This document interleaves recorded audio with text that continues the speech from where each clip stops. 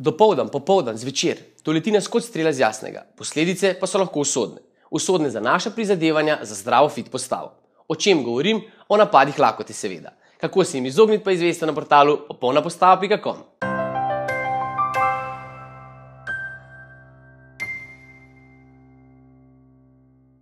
Napadi lakote se ponavadi pojavijo v tistih delih dneva, ko smo najbolj ranljivi. Obdobje malice, poznega kosila ali zvečer, ko se umirimo.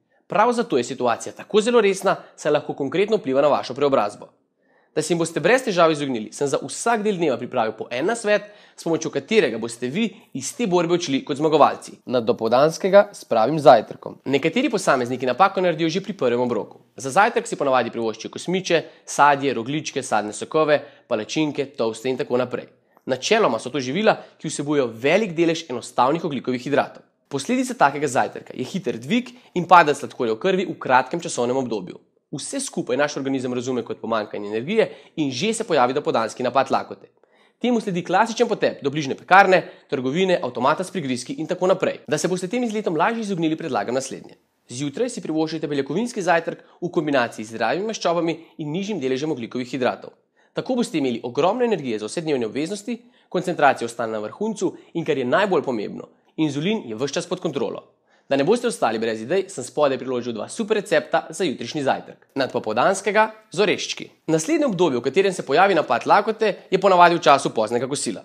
Verjetno vsi poznate tisti občutek, ko pridete domov iz predavanja ali službe in bi pojedli dobesedno vse, kar vidite.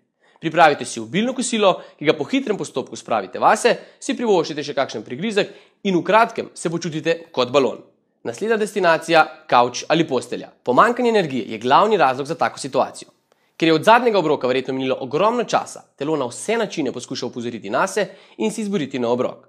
Problem se pojavi predvsem zato, ker v taki situaciji ponavadi zaužijete prekomerno količino hrane in odvečna energija se shrani v obliki maščob. Rešitev se skriva v mini obroku, ki ga zaužijete tekom dneva.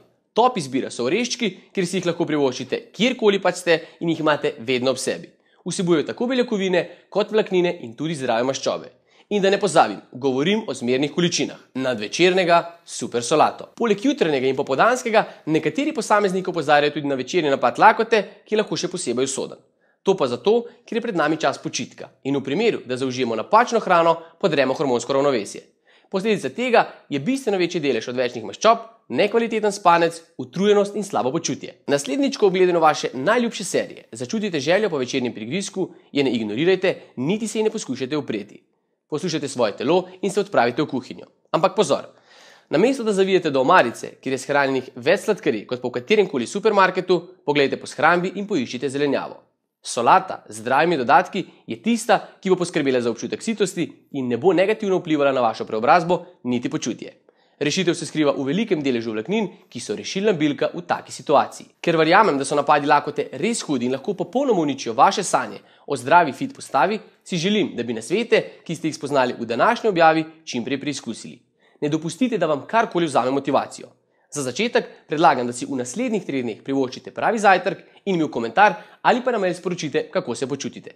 Čeprav se vam mogoče zdi, da ne bo bistvene razlike, vas prosim, da ne delate prehitrih zaključkov. Preizkusite in mi javite. Vsi, ki še niste na moji mailing listi, pa obvezno date svoj naslov, saj je škoda, da zamudite katerega od brezplačnih nasvetov, ki vas bo definitivno usmeril na pravo pot do popolne postave.